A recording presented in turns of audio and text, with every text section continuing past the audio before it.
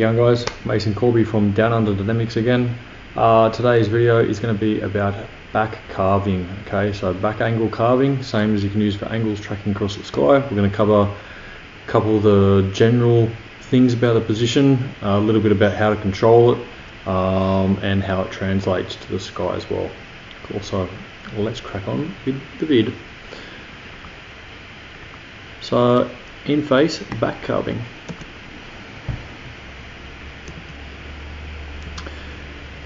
The general position here, we're going to see, like we've talked about before, we want a pretty much straight line from head to toe, slightly curved, so we're on slightly the arch side. Okay, this speed at which this tunnel video is shot is about 70% the Sydney tunnel and iFly the 16 one. Um, so it's on the lower end of the speed for most of the other tunnels. It's just on the slightly high of the lower end of the speed. Okay. Um, you'll notice the eyes are looking across the tunnel. The arms are pretty much straight up and down in the burble. They do ride a little bit towards the front of the burble, which you'll see on later on in the video as well. We're not bending or hooking the legs back, okay, because if we did, the wind would come up here and cause turbulence like we've seen in other videos. So we're trying to allow for a smooth path for the wind to hit the top of the head, which is the leading edge, and then coming down across the back of the legs. Okay.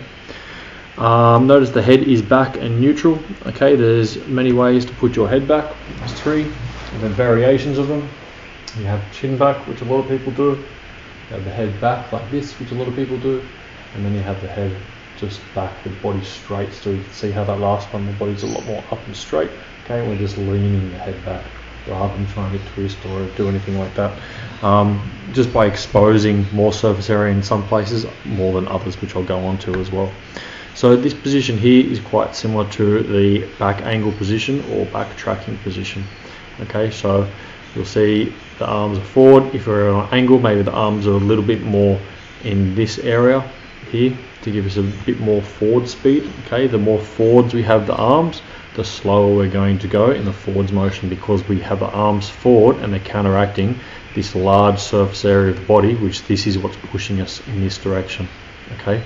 So if we move our arms more forward that's going to slow down. That's why you see on this video my arms are pretty much straight up and down I'm quite neutral not going super quick um, just cruising around the tunnel okay? If I lower my head and I make my head as in bring it uh, flatter so I bring it around this area here. It's going to cause more surface area so therefore I may go up. If I expose more arms to the side to the wider I may go up as well. So if we keep playing you can see here okay where the arms are. Now if I expose more arms more surface area with both of them okay this is going to carry me in this direction up. If I move them inwards so more towards in the burble okay not taking them completely off but in the burble a little bit it's going to cause me to go down. The other way to go down is if my body as you saw before was on this kind of pitch this angle if I want to go down I can steepen that. As long as I'm not doing this and hooking okay if I hook my legs I may be taking this surface area here away and now going steeper but I present a drag by hooking the legs so I need to let the legs go. Or if I'm going to go flatter with the body that's more drag as well. So if I want to maintain at this height that my body is now, I would want to, uh, sorry, if I want to maintain, so steeper, middle, and flat. If I flatten my body out and I want to maintain, I might want to bring my arms in, okay? Because I've flattened my body out, I've presented more drag, I need to take some sort of drag weight to stay there. Now if I go steeper, I might need, and to stay in the same position, I might need to have my arms slightly wider. Okay, the same thing, I've presented less drag with the torso, so I need to add drag with the arms.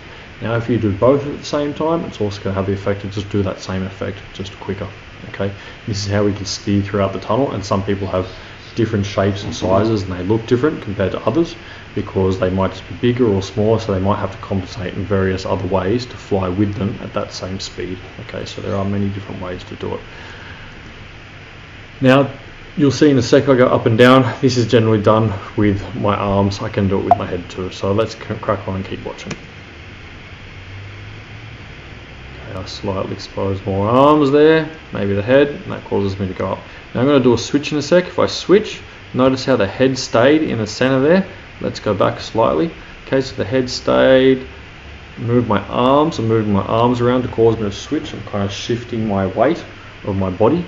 Okay, and then I'm, my head's rotating. My body is rotating around that point of the head until I face the opposite direction that I was coming from. This is the same as what we were talking about in all the previous videos about carving and switching directions. It's the same process, it's the same theory. Okay, you can see here how I've exposed a little bit more arms. As we said before, if I have more arms forward, it's going to cause me to not go forward as much because it's equaling or adding to this drag in the opposite direction. This drag here created at this angle is going to cause us to push this way. Okay, because the wind's flowing, hitting here and flowing off. And if I cause more drag at the front, that's counteracting this. So I'm still going to drive forward, I'm just going to drive forward slower. Then if I take that arm away to here, I'm going to drive forwards quicker because I have less counteracting drag that I'm presenting. Okay, I can also add and steer with my legs a little bit so I can drop them like in this shape here. I do this one, I'm probably going to side slide a little bit. So you can add those for turning and sliding as well, which you'll see at the end of the video. Okay, so when I do rotate, I've rotated, my body is facing this direction now, and I'm going to move in this direction here first, and then turn my body. I can turn my shoulders, as I said, I can turn my legs before. Okay, you don't want to get caught up in just turning one way.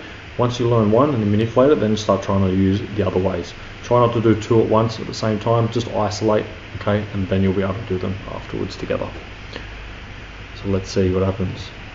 Okay, so I'm still got that motion, I've kind of stopped, not moving, not hooking, okay, just trying to keep flat, relax, and then I'm relaxing my arms back, you can see that arm, this arm here, as I start feeling that motion forwards, I then start relaxing, uh, then I start moving, and I'm starting to turn, you can see I'm bringing that shoulder around, I'm continuously looking around with my head, don't just get caught up looking at the wall. You caught up looking at the wall, you're going to go straight into the wall.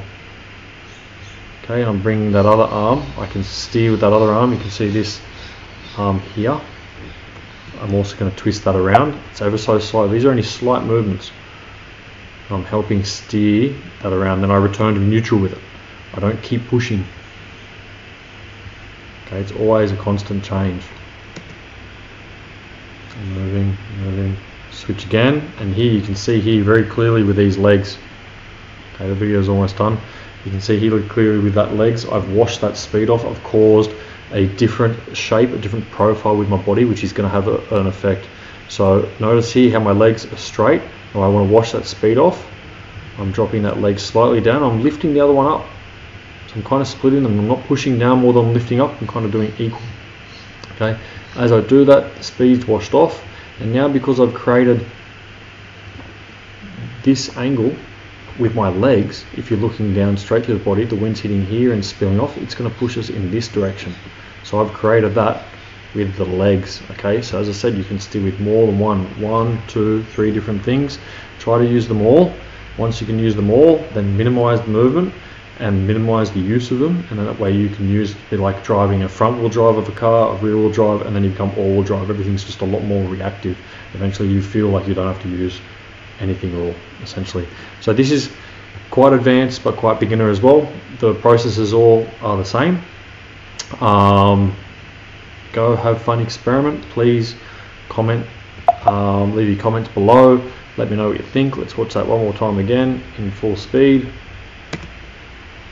Okay, so uh, this video is also from the body piloting channel. You can look at that on YouTube, um, and I'll have a whole heap of different clips on how to do stuff and how to do different moves on there, and that's what I'll be doing the tutorials on for the next while. Okay, so we'll be going all the way from um, the belly carving to back aim carving and I'm going to give you translations to that with the sky as well. Okay so you can see the translation with this one.